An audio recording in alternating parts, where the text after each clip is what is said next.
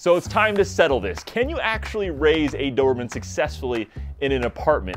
Well, we do know for sure that Dobermans love being just way too close to their owners. And they certainly hate giving you any alone time, even when you're going to the bathroom.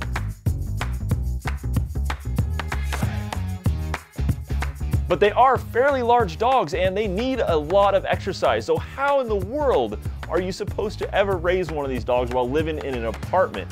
Well, today we're gonna meet an apartment dwelling Doberman named Romeo and his two owners to find out exactly how this is done. So let's get going.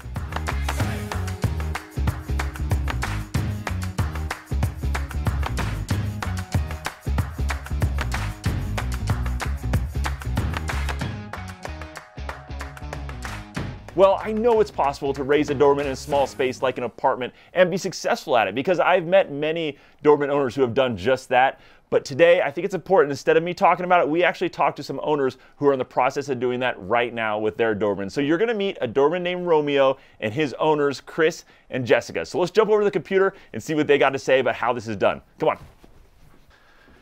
Chris, Jessica, thank you guys so much for uh, meeting up and talking with me today. No problem, John. Thanks for having us on. Thank you. So uh, tell me a little bit about you guys. Um, you and your your dog Romeo. Tell me about him also. Sure. So he actually just uh, turned one year. He's about a year and two months because he turned uh, in just the end of April. So he's just over a year now. We've had him in this apartment since he was, uh, what's it? He was eight weeks. So we got him really early. Got the ears cropped, tail docked, everything, um, and we've he's a great little dog. I mean, he's actually a big dog now. He's on he's on the big side for the Doberman. He's about 95 pounds. Oh wow.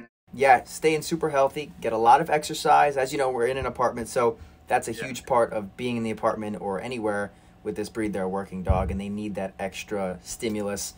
Otherwise, you can have bad behaviors. Yeah, yeah. How um, how big is your apartment? How d- describe it for me? Sure. So it's uh, one bedroom, one bath. Um, it's got a little kitchen in it as well, which we're in actually right now. yeah. We're just sitting at a table right behind it. So uh, I'd say it's about 400 square feet, Oh, okay. um, or maybe maybe even 500. Am I off by that's okay five five six hundred. I don't I don't want to be too stingy, but it's about five six hundred square feet. So we have all you know a bunch of smaller rooms. He has his quarters, a couch in here that he loves to stay on, a bed in the bedroom that he loves to stay on, and then a bunch of toys spread out throughout the way. And 95 pounds of Doberman in that small area. It's, yeah. How, how, how, how is that? Is that a so? Obviously, my main reason for talking with you is because so many people want a Doberman and they're scared to get them in like a small, confined area like an apartment. You know, they're worried about all types of things, exercise and other things. How has that been for you? Has it been as bad as you thought it would be? Worse? Better? Um, it's exactly as I expected, uh, and therefore we knew what was coming, so we can put things in place. As you know, we watched your videos for a long time up until the time we bought Romeo. So before even we got him, we already knew that they were going to need stimuli. They were going to need exercise, at least the two hours a day. And so, I mean, people came in with crazy ideas saying that this is the dog's going to run the apartment. It's way too small.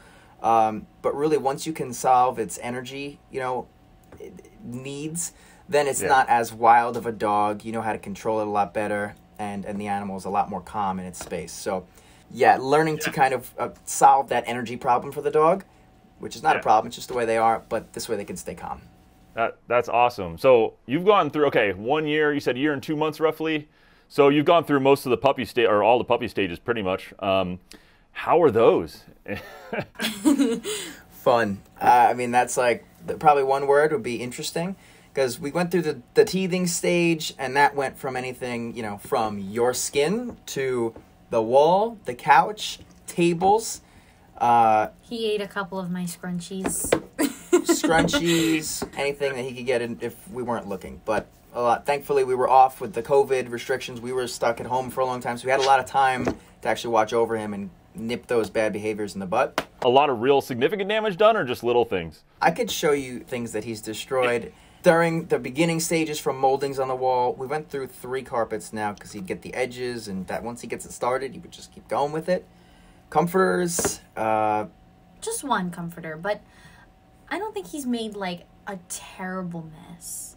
Just you know, like the molding. Okay, the molding is still there. You could just paint over Right. it.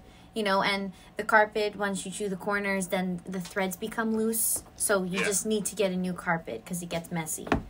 But he hasn't been like a total terror. Have you found ways to kind of like minimize that though? Uh, yeah, it's the energy. It's it's them getting into a routine, knowing that they're going to be able to have an outlet. I've found Yeah.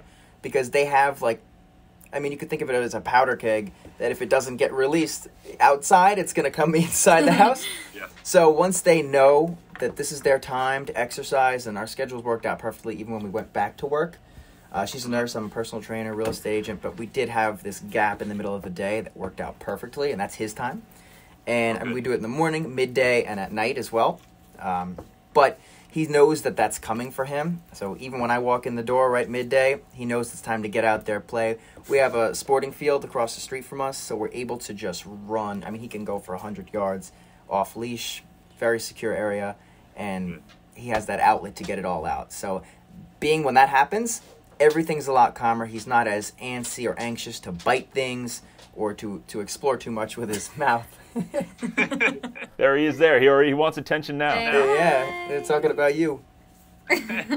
well, that that's awesome. So you're kind of falling into a little bit of a routine and figuring out how to manage that. It, I think even the most prepared owners, no matter how big your place is, you can live in a mansion. They'll still, on occasion, things will happen. They'll lose something. They'll, they'll they might lose a corner of a rug or something.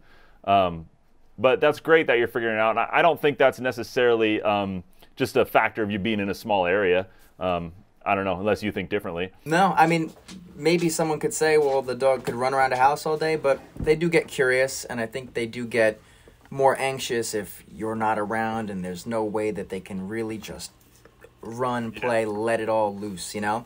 So I think Right. that's important to the dog in general, this breed, is, is having that outlet. And if you have an apartment, but you or if you have a house, or in general, if you can't get this dog outside one to two hours a day, it may not be the best move for you or the dog. And how have you handled like going to the bathroom? I know that can be tough in your if you're in an apartment type situation. He's very good. We let him out on walks, so we take him out on the leash. Um, he holds bathroom. I mean, number two, it's like every six hours, six to eight hours. He's very flexible. That extra two hours is fine for him. Um, and then peeing, sometimes he just doesn't even want to go outside and, and. He can just hold that for what I've had, twelve hours, and I'm like, wow, Yeah. credit to you. When he does have to go, he whines and cries or what?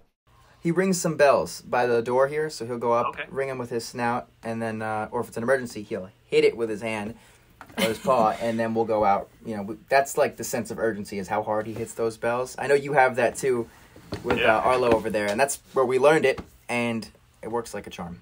That's awesome. And Jessica, you, you're a nurse, right? So do you work uh, weird hours sometimes, or I do. I work nighttime, so overnight. So I'm home during the day. So I work 7 p.m. to 7 a.m. So, you know, daytime I'm home. So if Chris is at work, I'm here. And I could take him out in the morning, um, afternoon, and depending on his schedule, maybe I'll take him out before I leave to go to work at night, or if he's coming home, you know, kind of differs based on our, our schedule when he's coming home. But I mean, sometimes he'll even go out twice a day. You know, like sometimes he'll just go twice and he's fine. what about if you have like a super busy day one day and and you don't he doesn't get his normal stuff? Do you I mean do you notice anything about him or Well, Fridays. So Fridays, um, if you know during the daytime. So I I usually just take him for walks and stuff like that. But I won't take him to go run for forty five minutes. Like the off leash stuff. She doesn't Like, feel comfortable with I don't want yeah, I don't want to be with him off leash. You know, God forbid something happens. I feel like his recall is a little better with Chris.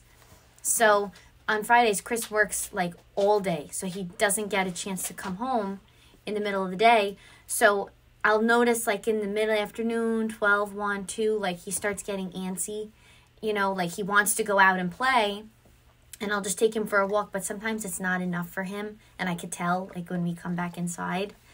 Um, so usually when Chris comes back at like seven o'clock at night, you know, he'll try to take him out to get some sort of energy out. It's party if, time. Because if we go out to dinner, then he's gonna go crazy in here. you know. Right, right, yeah. Absolutely. Friday is the hard day, I would When say. When the routine gets cut. So Yeah.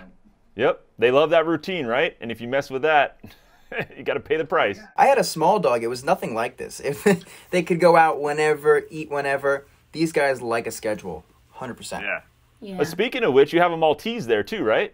I do. Yeah, you got- She's hiding somewhere. She's So you- she's like this. How do they get along? And, and I mean, they're they're in close quarters all the time, right?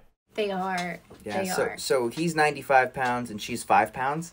Um, but, you know, we taught him from the beginning that she will run the show. We don't want any chances of, of anything. If he wants to get territorial near the food dish, we made sure that they, we were, they were both trained when that was ta- happening. Um, so, if anything, she takes his food. Yeah. She'll come right up and they'll play too. They'll jump on each other, which is very cute. They don't lie together a lot, but they'll uh, they'll play. Ooh, you're hitting the- They'll uh, they'll they'll run around together a little bit. But we did um in one of your videos you said to always have like an escape route for the small dog. Yes. So yes, we very have important. a gate that divides this this room that we're in from the bedroom.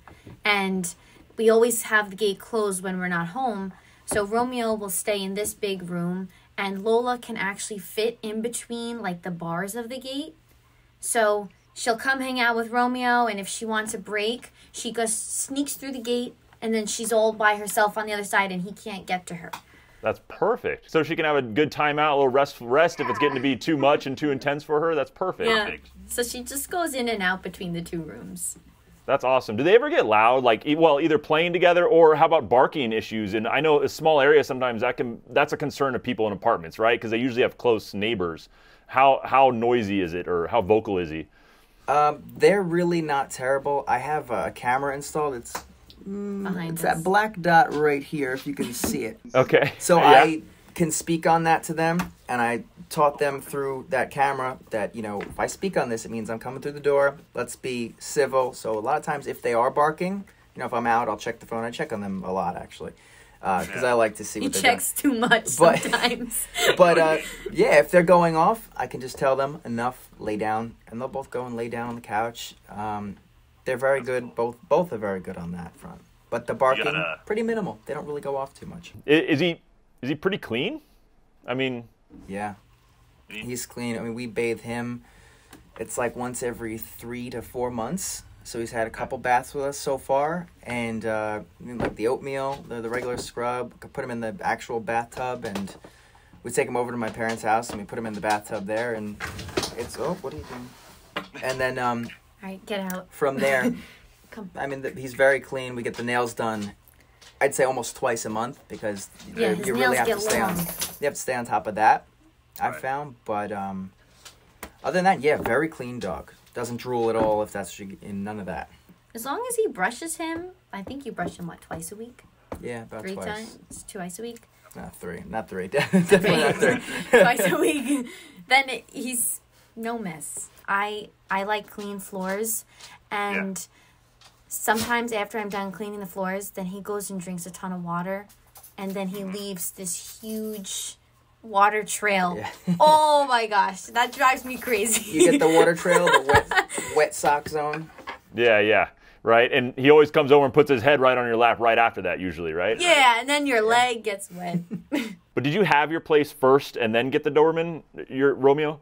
Yeah, and you do have to check with your homeowner's insurance because you can void that by a vicious breed. You know, Right. some they call it that. Um, I, mean, I can tell how vicious he is just from this eh, from this interview with his with yeah, his head. no, I all the licking to death. Yeah. But yeah, so you just always want to check with your insurance. We have State Farm; they accept all breeds. So if that's someone's looking for a recommendation, that's what I was told. They have to do check, do their own research. But so that's why we. but we ended up being okay. did we were looking like a couple of months ago just to see like other apartments that are a little bigger but they were like apartments in a complex and most of them had dobermans on their restricted dog breed but Really? if he's considered a service pet then he's allowed Does he have any like favorite activities to do like inside the apartment? Like, do you guys have game a certain game or something you do? he loves the kong when you fill the kong with like treats and stuff Yeah, no, he loves the Kong. We'll do a little tug of war in here sometimes. yeah Uh, most times, you know, we just win, but or we'll have him let go, and um, other sometimes we'll let him win too, but not very often. Um, but that's really the most we do indoors as far as activities, or we'll do just regular training where we'll have him do all the commands, run through that. We do that before every meal anyway. but most of the the training and the real activities take place outside. Oh, okay. So there are a lot of people who are first time dog owners. They've never owned a dog before and they, they live in an apartment and they want to get a Doberman. Do you have, what's your advice? Now you've done it, you've been on the other side of it. Some people are just dying. They wish they had a crystal ball to know exactly what it was like and how doable it is or isn't. What, what can you tell them? Uh, I would just say the one dog I had before this was raised with me in my parents' house. They raised it, so it was really my first time raising a dog. You know, the little one was hers, was given to her by a friend. Um, so with this one, I kind of just went in as you know, got to really set the tone early with them. Uh, really show that you're the alpha. Make them do all of their commands before they eat. Be the first one to walk through the door. Make them wait.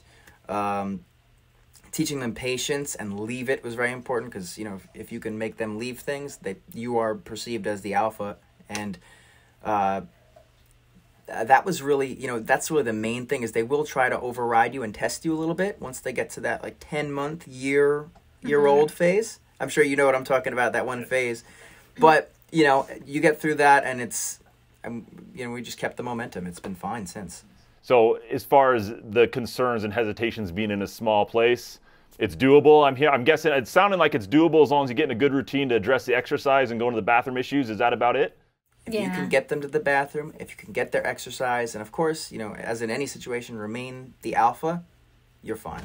And maybe it doesn't hurt to get to know your neighbors too, and and be friends. Be yeah, friends with check your homeowners, all of it. Chris, Jessica, thank you guys so much. I really appreciate you taking time to talk with me. Oh, thank Not you. Not a problem, John. Thanks for having us wow, it was really cool seeing how Chris and Jessica are coping with their Doberman Romeo in that small apartment. Seems like they're doing a great job raising him. And I really commend all you guys out there who are living in apartments and raising Dobermans for just having that love and passion for this breed, that you're willing to put in that extra work and that extra attention that it takes to raise a dog like this in a small space. Please, guys, before you go anywhere, hit that subscribe button down below and the little bell icon next to it. That way you get notified on my next video when I release it. If you don't do that, you might just miss that next one. And who knows, that next video might be that one that you've been waiting for me to do for months now. And yet, Yep, I actually think uh, that video is due to be released any day now. So make sure notifications are hit. Thank you guys so much. Keep being great Doberman breed ambassadors. And of course, see you next time.